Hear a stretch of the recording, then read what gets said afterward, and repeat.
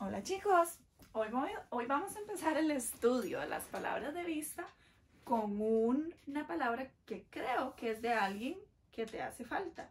Recuerda que los pasos para estudiar palabras de vista son leerla, construirla, escribirla y usarla.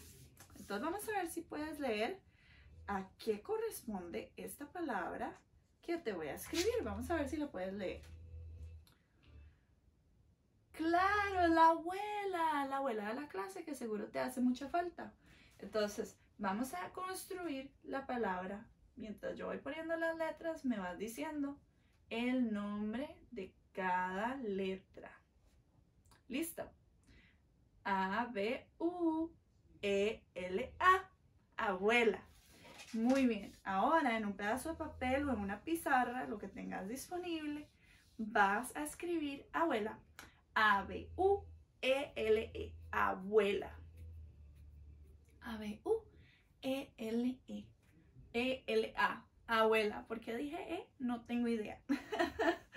ok, ahora vamos a usar la palabra abuela en una oración. ¿Qué tal? La abuela de la clase es muy linda, ¿verdad que sí? Bien, seguimos con las palabras. Ahora, la palabra siguiente me la tienes que leer. Es el primer paso. ¿Qué palabra dice ahí? Exacto, ahí dice ahora. Ahora, mientras la construimos, me vas a decir los nombres de las letras, que es muy importante que te lo sepas. ¿Cuáles son estas letras? A, H, vamos a hacer esa H mejor. A, H, O, R, A. Ahora, Hmm, acuérdate que la H es silenciosa, entonces suena como si no estuviera ahí, pero está ahí. Entonces, ahora la vas a escribir. A-H-O-R-A ahora. Escríbela en un papel o en una pizarra. Listo. Muy bien. Ahora piensa, ¿en qué tipo de oración puedo usar la palabra ahora? ¿Qué tal decir, quiero mi recreo ahora. ¿Verdad que sí? Muy bien, chicos. Ahora, vamos a repasar dos palabritas más.